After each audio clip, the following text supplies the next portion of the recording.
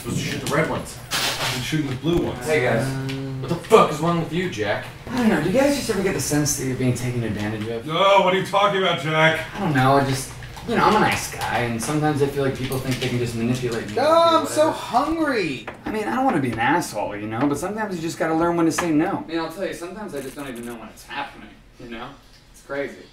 So I just gotta remain vigilant and know that sometimes people are not looking out for my best interests. Some people just want to stomp all over you, you know? Can you just get the back of my head? I'm hand? just glad you guys aren't like that. Seriously, you guys are the absolute best, and I would never trade our friendship for anything. Seriously. I don't know, guys. I guess what I'm trying to say is thanks for never swaying me one way or the other. You know, I mean, I'm just a guy. You know, no one has to manipulate me, especially my friends, and I just feel like I can be myself around you guys. You know, just genuinely me, just Jack.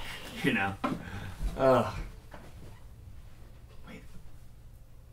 Nick, What? it's your mom's birthday today. Be sure to call her. Shut the fuck up, Jack! Okay. Shut up! Silent Scrange. You guys ready? And playing video games? Looking forward. Oh my God! Holding for Danny. What is this fucking amateur Rolling hour? for the busy boy. Who Oh, is it? no. Who is it? It's Sam Sardine.